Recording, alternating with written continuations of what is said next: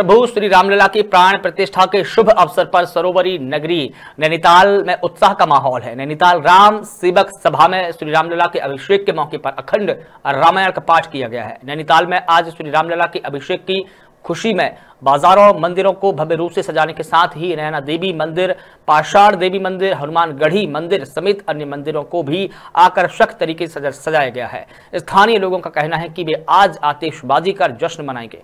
नैनीताल से तेज सिंह की रिपोर्ट।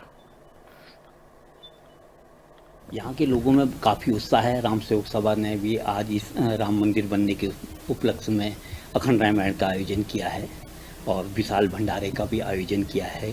कल को हम विशाल भंडारे का आयोजन करेंगे और शहर को विद्युत मालाओं से सजाया गया है। काफ़ी उत्साह है लोगों में और बहुत आकर्षण लग रहा है इस नैनीताल में।